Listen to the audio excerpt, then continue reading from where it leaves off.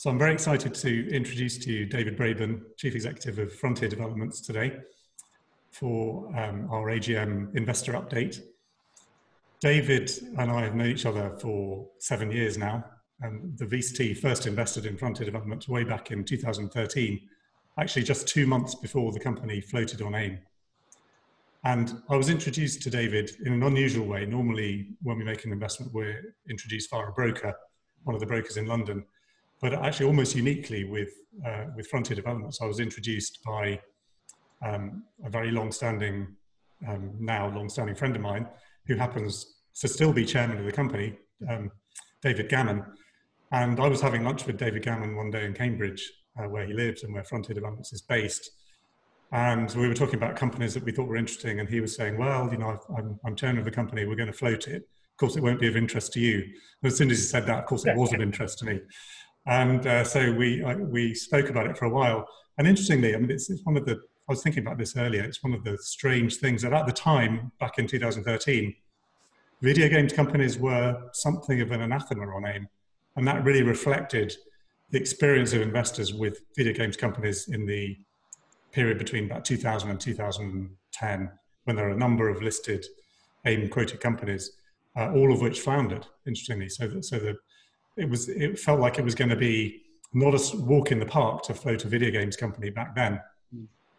And the reason that I got so interested in the company very quickly uh, was because David, David Gammon explained to me how there was a sea change going on uh, as a result of the advances in digital technology that video games developers were had a, had a window of opportunity to become video games publishers. And that's really been the journey of frontier developments over the last seven years and what we're going to discuss. So, David, uh, looking back over this period, I, am curious to ask you to ask you when you look back, what was your experience of floating like, and what, what were the how do how do you re- reminisce on that now? It was. I remember signing inordinate numbers of documents, um, great big piles of documents, where you, you see new versions of them, and it's just not practical to read them end from end. Having said that, though, the, the process was probably less painful than I was expecting. Um, in that I, I, remember engaging with a lot of people. I think there was a lot of there was a lack of interest in our sector for at least a year or so, even after we floated. And it was only when they started to see that Frontier was performing, that we were growing, and that we we were doing sort of what we said we would do. And I think some of the things that we said back then, people rolled their eyes a bit and thought, "Oh yeah, right, they all say that." You know, like our ambition is to be the highest um, quality company, you know, that, that we, we, most respected, I think is what we said. Um, you know, and this is sort of Rolls Royce, not Ford. We're going to make things that were memorable.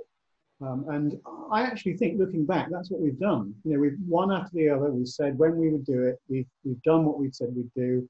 Each of them has done slightly better than we said it. We thought it would do, which was good you know, so we're on a really good trajectory. Um, and actually, if anything, you know, the transition that you mentioned at the start, um, I mean, rightly so, the move to digital is now is, is the case. It, we're mostly through that transition. Almost all our sales are digital, and I think this um, COVID issue, if we're allowed to talk about it, is um, has actually accelerated that because what's happened is a lot more people now have moved to digital who might not have done so so quickly and actually are really engaging with our games because this type of games we make have hundreds of hours of, of interesting playtime in them, if you like.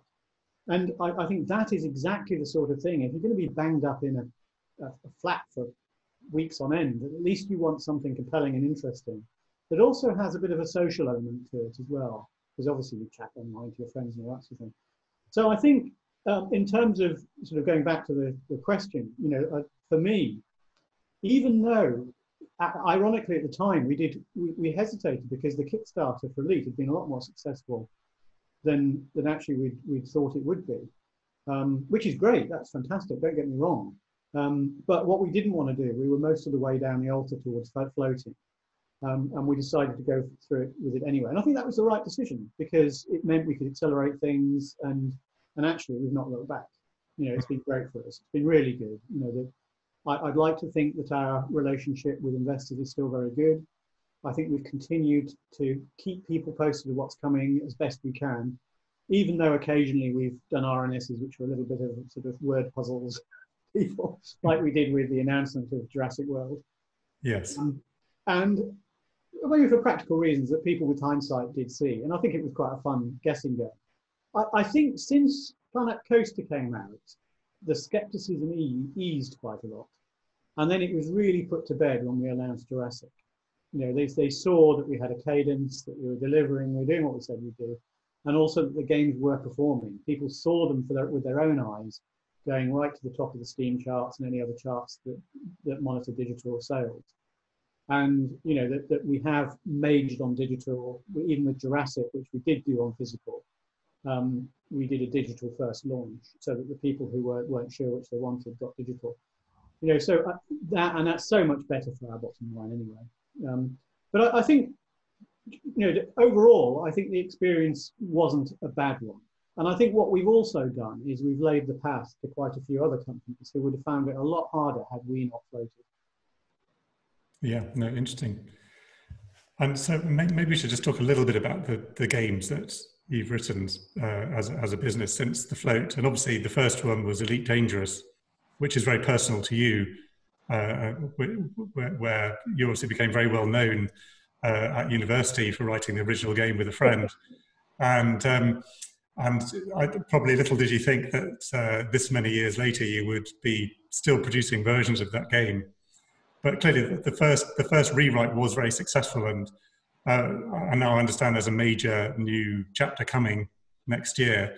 Um, but how how do you you have a very long personal journey with this game. Is it still very special to you? Does it still feel? Oh, it's it's, still very special. I mean, I've always had, I've always loved uh, astronomy and looking up at the stars, and just the feeling that you know how small Earth is and all that sort of thing, and to be able to communicate that in any medium actually is really good. And it's very rare in um, films that you get that feeling of, of the vastness out there. So yes, I'm really proud of it. I'm still very close to it. Um, you know, for, for those listening, Elite Dangerous actually, the um, original early access came out seven years ago. It's in its seventh year, so it's an amazingly long time ago. Um, that was that first al alpha in um, December 2013.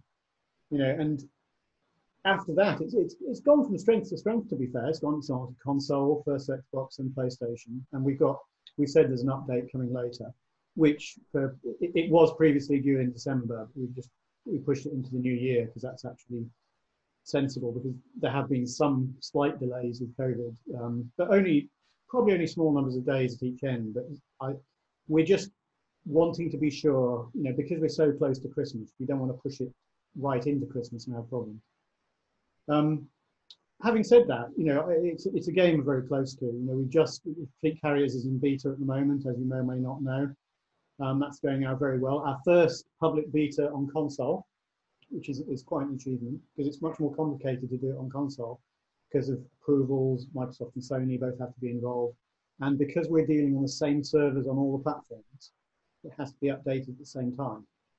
So there are some technical challenges there as well. Wow, fantastic. And then there was Planet Coaster came after that and another very successful on-time development yeah, Planet Coaster came out on time in November um, 2016. Um, and actually, you know, that, that was the other thing. I think there was skepticism because at that point, the, the go-to coaster game was Roller Coaster Tycoon 3, which we had developed, but with Atari um, back in 2004. And I think where there was skepticism is that we could go with what was basically a new IP um, Roller Coaster Tycoon brand was not owned by Frontier, it was owned um, by Chris Sawyer and Atari. And we did look at taking it over, but just practically speaking, it wasn't practical. And actually, we were confident it wasn't the brand, it was the quality of the game that mattered. And I think within a day or so, it was really apparent that's exactly what's happened. And even to the extent that the day before we released, Atari announced a game called Roller Coaster Tycoon World as a notional sequel, which didn't even compare favourably to Roller Coaster Tycoon 3, never mind to um, Planet Coaster. So I think that's gone from strength to strength. Nowadays, it's the go-to coaster game and has been pretty well ever since we released. Yeah. You know, so that's really good. And it goes to the strategy as well that we did say at the start, was to identify underserved areas of the market that we can do a great game in and do a great game in it because then you've got a really good chance of owning that sector, even if it's a little bit niche. they're still quite big niches, especially when you think that we're selling to a global audience now. And not necessarily to, we won't, we're not going to go head to head with Call of Duty because to match that, you need quite a big investment. And I'm not actually sure you'll get a return. You know, and if anything, looking at what games like Fortnite did, where they did a game that had some functionality a bit like it, so it's first person shooter, but quite a different style of game, it's actually taken away quite a big slice of their audience. You know, Activision have fought back by adding a, um, they call it a battle royale mode to Call of Duty, and that's been quite successful for them. So that again, it's that arms race, and arms races can be quite expensive because yeah. you have to do them quickly. Um, and so the fields we're in, we're, we're actually away from that real fierce um, competition. And the strategy, and we've seen it now with Planet Coaster um, over those years since we released it, where roughly quarterly we've been bringing out expansions. So we, we stay ahead of the game. It's quite hard for people to challenge that. If you look at the amount of really valuable, rich content that, that's in that game. Um, yes, at some point, I, I, suspect we will want to do a new version, the same way we did Roller Coaster Tycoon 3. Um, yeah. But you know, it, it's a very good, good business model for us, and we've announced it's coming to console now. You know, so so there's a good throughput of, of things there. And I think the other thing is we've sort of learned because we're learning every day. We're learning now as how best to do things under the lockdown. But with Planet Coaster, we started off doing quarterly updates. And we actually noticed, I mean, we noticed pretty quickly, we did a trial, when you do the updates is really important. And the sweet spot is to do it just before a holiday period. Um, because that way you can get people who, you know, an established word of mouth, just at the point where um, people expect to be buying know, whether it's Thanksgiving, whether it's Christmas, whether it's um, Easter is good, and also the summer sales season is good. So what we've done is rather than being actually calendar quarterly, we've skewed them a bit so that the updates tend to come before those holiday periods. Um, and that has that's been a bit of a kick up in the sales. So even you know, so they're not uniformly spread through the year. Um, you're now seeing that we've done it with Jurassic. We've, we've had a number of updates. Um, similarly with Planet Zoo, it's still early days, but we've got um, those two big updates out, and they have been doing incredibly well for us, particularly the South America pack, which, by the way, was produced under lockdown. Wow. Released on time just before Easter.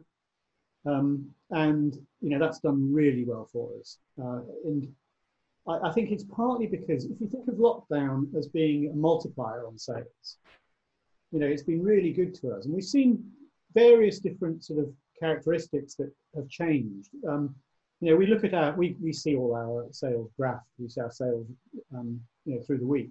And you can see the sort of periodicity. The weekends, Friday night, Saturday night's really good, Sunday's pretty good. And then it dips during the week. It's always been like that. But actually nowadays, it's very hard to see those dips. You know, I, I think we might see it as people start to go back to work. We might see it starting to reappear.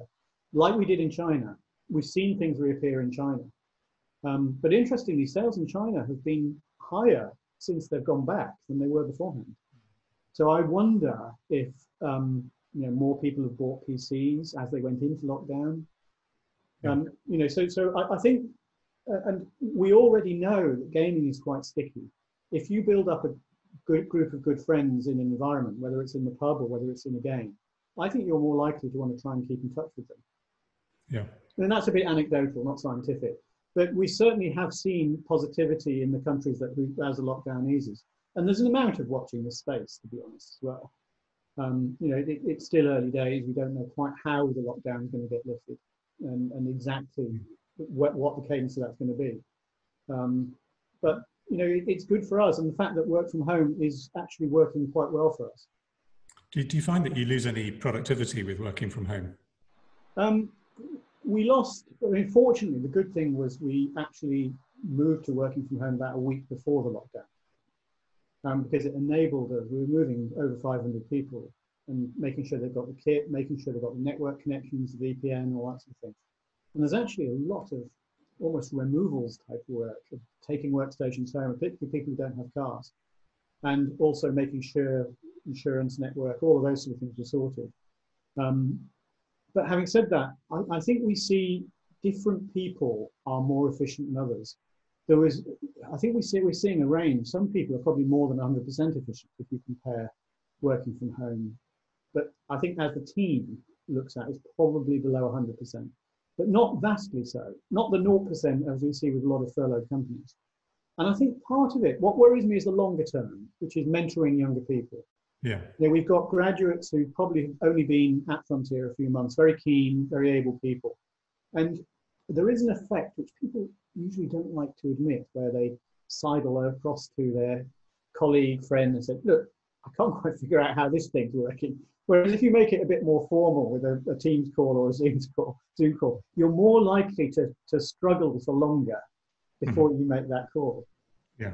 You know, so I think there are things that we haven't got enough metrics on yet, but I, I think team leads are probably actually we find there are fewer distractions, but those distractions can be valuable. Yeah. Yes.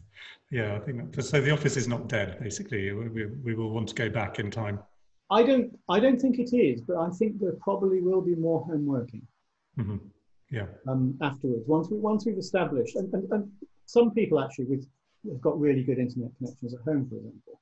Others haven't. You know, we've given people 4G don- dongles and all that sort of thing. But for some of our heavy workstation work, that's actually slows things down quite a lot. So the, there's the sort of semi-geographical effect as well. Um, so we would have to look at that. But having said that, yes, I think things will change. They won't be the same. And actually, we have completely changed the way we work. I mean, one of the great things with our industry is it's so fast moving anyway, always has been. You know, new technologies come along. We're, we're currently dealing with um, PlayStation 5 and Xbox Next, for example.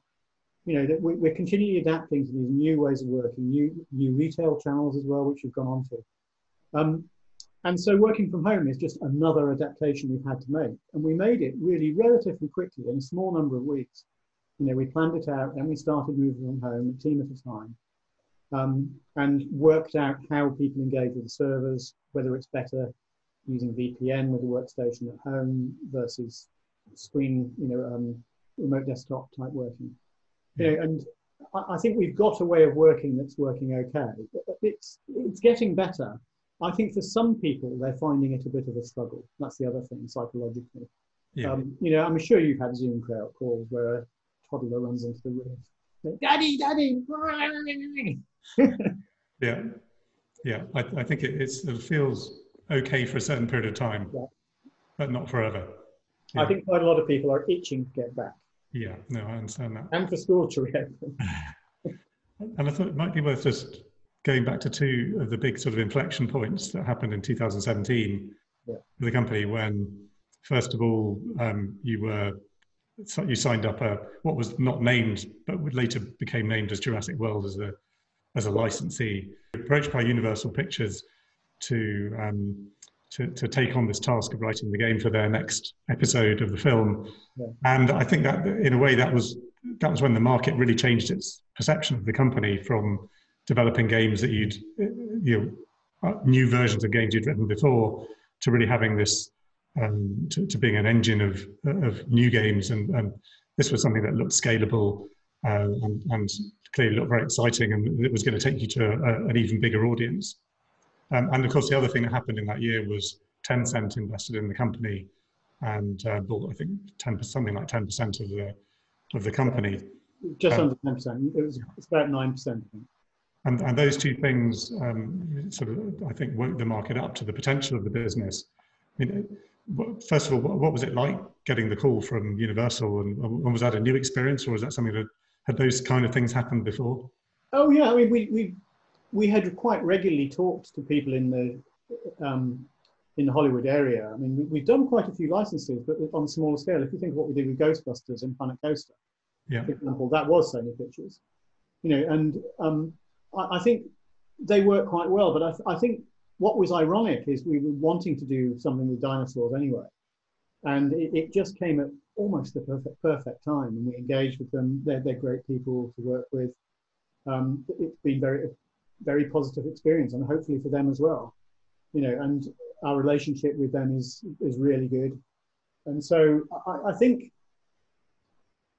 we in, in a in our minds, this is the, the funny thing, um, we're always sort of at least two years further on because the things that we're signing now, I mean, actually, you've got some sight of it because obviously, I mean, we'll talk about in a minute, but Formula One and then Games Workshop. Um, you know, those details, obviously, we've been talking to them for quite a while.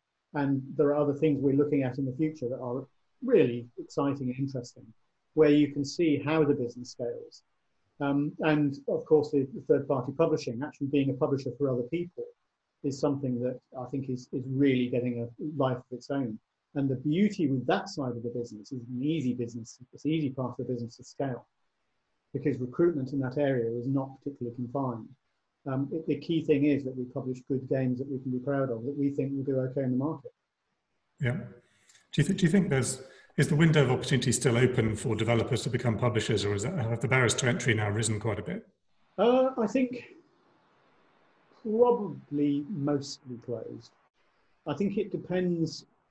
You need a leg up to do it um, at, at now.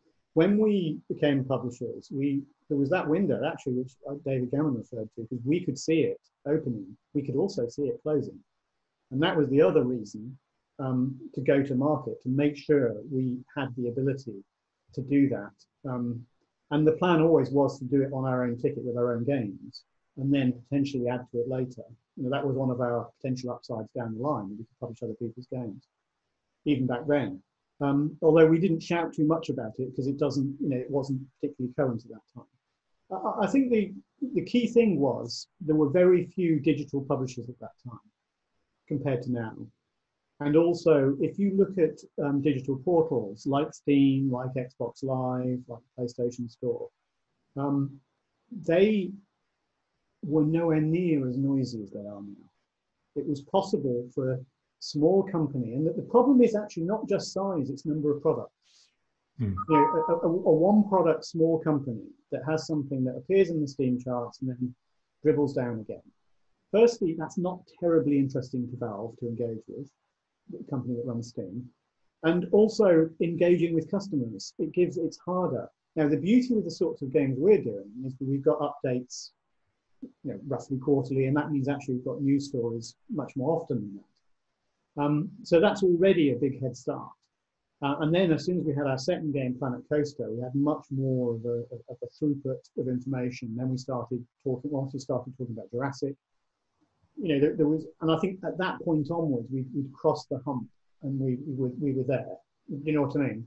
We had, we started doing publisher sales with, with Valve. We could do takeovers of their homepage and all that sort of thing. And it, it reminds me, talking to one of the third party publishing groups, um, they said to me they had never spoken to a person at Valve. Wow. Whereas we speak to them most days, you know, and that's the difference. So we can talk about what, what's forthcoming, how things aren't working, can we change this on the page? You know, and it, it's that that the people who are being published through us, they get that relationship benefit because they can participate in our Steam sales. I mean, we had a publisher sale over the Easter weekend, which was incredible for us. Um, and, you know, a part of why we ended up um, nudging up the numbers. Um, but it was that was a frontier publisher sale over the Easter weekend, which would have been great anyway. But it was that sort of magnifying effect because of COVID, and that was quite early on in the lockdown period, where people were still scratching their heads thinking where they should spend their money. then we were going, hey, we're here. yeah, absolutely. And maybe a good place to finish would be I, I know you have a, a, a wonderful vision of the future and what you want the company to do over the next 10 years. Could you maybe just sort of talk a little bit about that. Yeah, it's not it's not changed hugely, but I, I, think in in five to ten years' time, certainly sort of ten years' time, I imagine there will be something like a dozen media companies, um, and none of them will look anything like they do today. Uh, in the same way, if you wind back ten years, you wouldn't recognise Amazon, you know, or Netflix, and there will be some familiar ones as well. But we want to be one of those companies. We will also be unrecognisable, by the way. But I think actually we're, we're fairly unrecognizable than when we floated, when we first chatted. You know, we were quite a small company then. Mm-hmm. We had, we didn't have a lot of development power, firepower. We didn't have a lot of cash. We've now got a lot of cash, a lot of development firepower. We're now very well known in the industry as well. So recruitment for us now is better than it's ever been. And actually, during during lockdown, you know, we've recruited a lot of people. Wow. And you know, we, we haven't engaged with in any um, furloughing or anything like that, even of people that we could have furloughed, because I think the key thing is companies like us, we shouldn't be taking those things. You know, we are doing incredibly well, and we're very proud of that. Um, but also, we're trying to make sure that we treat our staff really well. You know, by having well-being sessions or this sort of thing, um, people that they can talk to privately. Because I think some people are struggling with it more than others. People who, uh, sadly, quite young people who might be working in the same room that they're sleeping. Mm. You know, just because they're in a shared house and they don't have a lot of space um, you know, and they go outside for one walk a day. And then, yes, I know you can do more than that now, but you know, I think that gets to people. And so we've tried to look after people, and we've tried to run events in the evening, the film night tonight, for example, where people are watching a film, but they're all getting to chat about it while they're watching it. Right, great. Yeah. You know, it, it's really to try and keep that feeling of community going, which would otherwise have been served by things like our canteen and our after work activities, which sadly we can't do at the moment. Maybe we will be able to do them in a few weeks' time, who knows? Yeah, fantastic. David, great to chat to you. Thank you very much for taking part in uh, in this conversation. You're very welcome. Thanks for thanks for having me. And, and thanks for investing, by the way, and to all your investors. It's appreciated. Well, I should pass on thanks for our investors because you, have been amongst our most successful investments, and it's been a real privilege to be an investor in your company. So onwards and upwards. Indeed. Thanks, Paul. Great. No, thank you.